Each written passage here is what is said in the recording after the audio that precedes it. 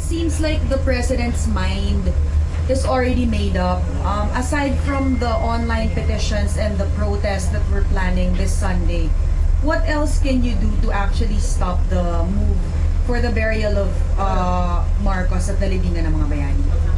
First, uh, the president is on record having changed his mind a number of times.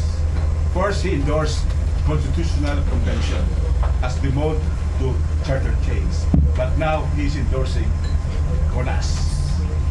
So, most probably his uh, predisposition to to give uh, Marcos a hero's burial at the libingan ng mga bayani may not be cast in stone yet. So we have all the opportunities uh, to have him change his mind. But how do we do this?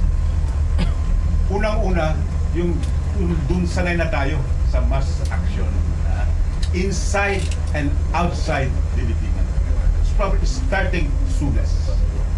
Pangalawa, we will study the possibility of going to the Supreme Court and get an injunction. And uh, we go directly to Supreme Court as an exception to the hierarchy of courts doctrine because this is a truly public interest case.